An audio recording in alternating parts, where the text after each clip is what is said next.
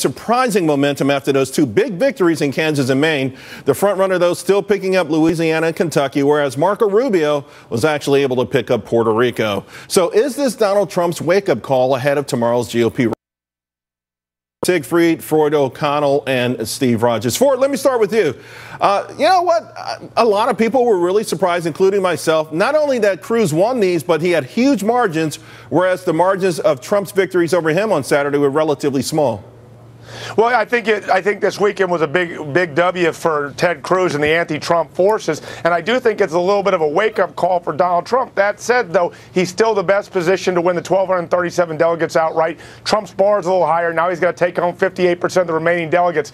Uh, here's the thing: Rubio's folks did go to Cruz in Louisiana. The question is, will that continue? Will they actually coalesce behind Ted Cruz? I'm not sure of that just yet, but we are going to find out tomorrow.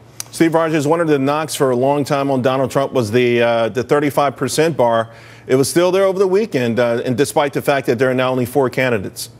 I think, Charles, you're going to see that change. Uh, uh there's going to be a big change, I believe, in the next few weeks, and uh, those people that were not supporting him, I believe, as your uh, guest just said, the Trump train's on the way. It made a stop to refuel, if you will, and people are going to jump on board. You know, in the stock market, whenever there's a pullback or a correction, they call it the pause that refreshes. I guess that's exactly what you're talking about. How refreshing is this one, Tammy? Well, look, I think it's if it's a wake-up call for Mr. Trump, but I don't think. Look, what's appealing about him is that he's always himself. So I don't know exactly what he would change. Uh, his team might have to work harder. He might have to get more people on the ground.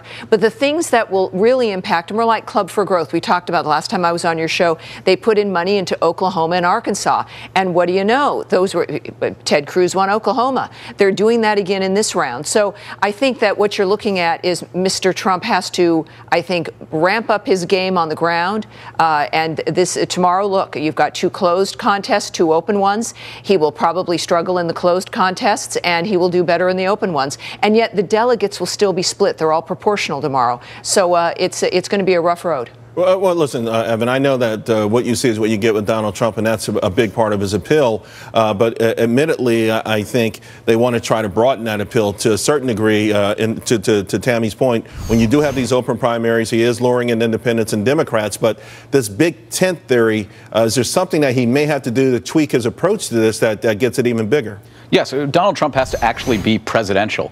His he might have short fingers that are like a child, but he has to also stop. he can't fix that. Stop, come, come on. He, I thought we were past that. well, listen, he has to stop acting like a child. That will that's what's really hurting him. When he goes out and he in a debate and he's in the lead and he says, "I'm," uh, he starts talking about his hands, like you just said. We don't want to go over it. Although, we want to hear policies the, the and solutions, and he's not giving them. You're a Rubio guy, right? Yes, I am supporting. So Marco Rubio picked up that line of attack, and it looks like it's hurt him and not it hasn't hurt Donald Trump.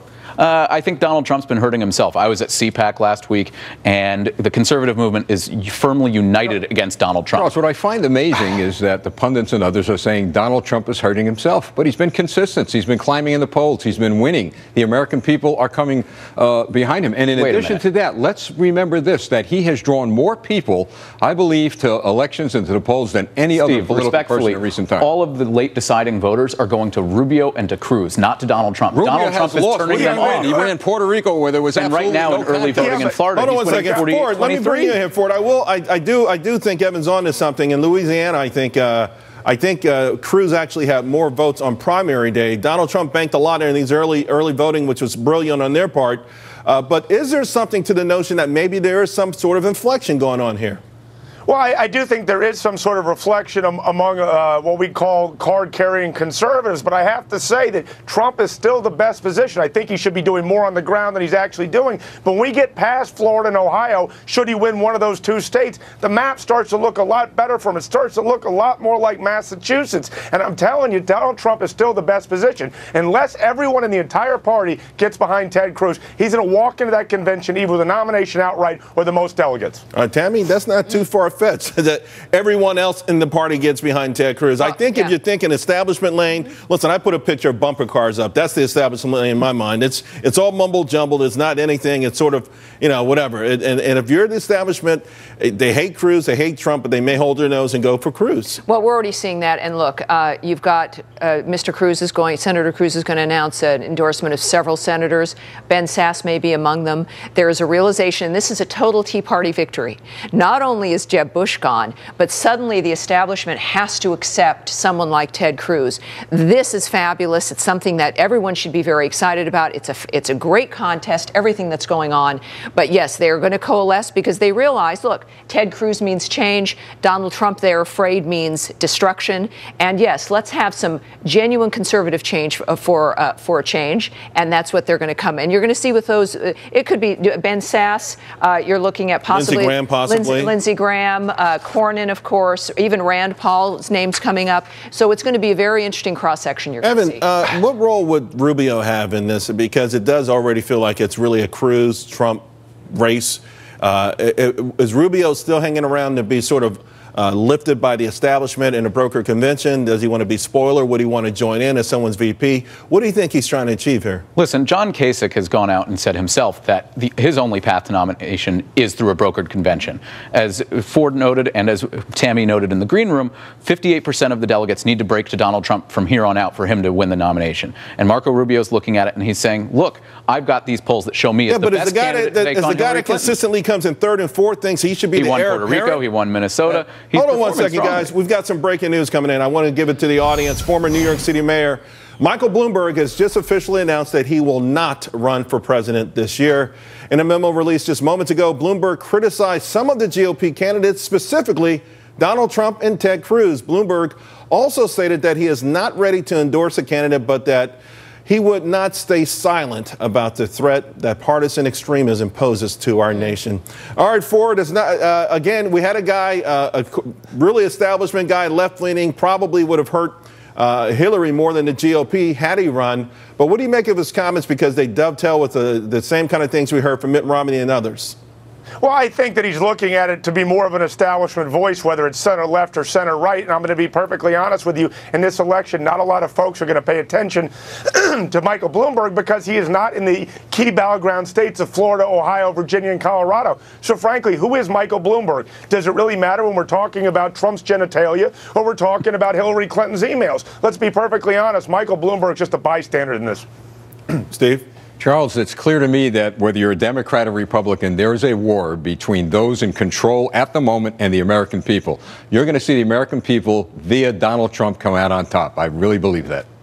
Well, Tammy, mm. what, what is Steve missing? Because you're not, you're not as convinced. I mean, he's got the yeah. momentum, he's got the numbers on his side. Mm-hmm. No matter what, more than likely he'll end up with more delegates unless something really interesting happens mm-hmm. tomorrow or next week uh, with respect to Ohio and Florida? Yeah, look, there has to be a unity between Mr. Cruz and someone else. Uh, I think already America is getting a little exhausted with Mr. Trump. That's going to work against him. As we know, of course, the early voters have gone for him. As people get information and think about it, they don't vote for him. The longer this goes on, I think the worse it is for Mr. Trump. we we do have terrific enthusiasm for the Republicans, but that was registering in double digits before Mr. Trump even, uh, uh, you know, announced.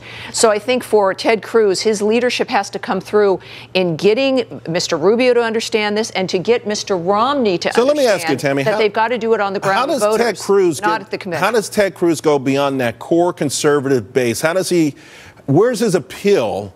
uh, to, to a broader audience, not oh, just in the GOP, sure. but to in a general election? How does a Ted Cruz win over uh, the same people that Donald Trump are winning over? Look, you, you heard it. You be, heard it begin in, in New Hampshire when uh, Rand Paul dropped out. He started talking about the Second Amendment, the First Amendment, the Fourth Amendment. He's a constitutional scholar. He's a constitutionalist. He's Tea Party. This is about a conservative ideal. That that is the message that has to be moving at this point forward. That ev- all of us understand and embrace.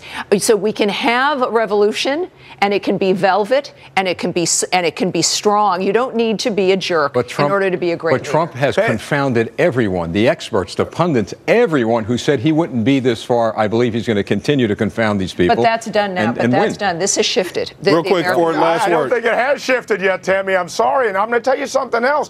Ted Cruz has got to make the case that he can win a general election against Hillary Clinton because we know that she's going to be running Planned Parenthood ads around him 24/7. War on women, hate minorities, hate the poor. That's exactly what they're going makes to do up to Ted difference. Cruz. They have a harder time doing that to Donald Trump, and I'm neutral the in this Democrats have a 30% decrease in turnout. The, the Republicans, even without Mr. Trump, will have at least a 20% increase. That's a 50% I, I difference. think you were being the extremely nominee, optimistic. The nominee for the I like to GOP will prepare be the for president. the worst and hope for the best. Ford, I'm know where you're I- coming from. Although, although the polls consistently show Ted Cruz doing very well, often beating Hillary in a general election. Let's hold it there, guys.